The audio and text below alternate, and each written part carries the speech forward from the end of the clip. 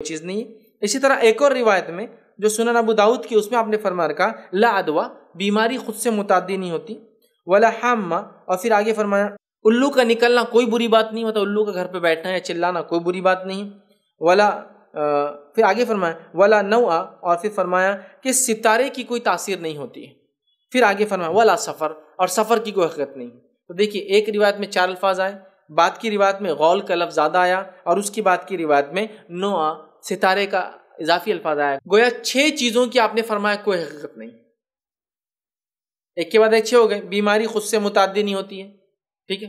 اسی طرح پھر آگے فرمایا کہ فال، بد فالی کی کوئی حقیقت نہیں ہوتی۔ ہے الو کی کوئی حقیقت نہیں ہوتی۔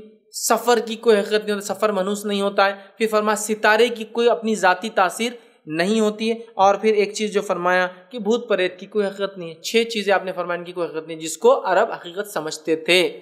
اب نبی اکرم صلی اللہ علیہ وسلم کے جو سچوں میں سب سے سچے ہیں، ان کے الفاظ آنے کے بعد بھی، افسوس کی بات کی، ان کی امت جو ان کا دامن پکڑ کے جنت میں جانے کا دعویٰ کرتی ہے، اس مہینے کو سفر کو مکمل منوس اللہ تعالیٰ کو ایک طرح سے اذیت دیتی ہے، اس لیے کہ وقت اور زمانے کو اور ایک مہینے کو برا کہہ کر اسی طرح توہام اور وہم کر کے بس شگونی بدفالی لے کے شرک اور کفر کرتی ہے اور پھر اپنے آپ کو جو ہے سب سے اعلیٰ مسلمان ہم سمجھتے ہیں۔ ہمیں یاد رکھیے، اس چیز میں بہت احتیاط کر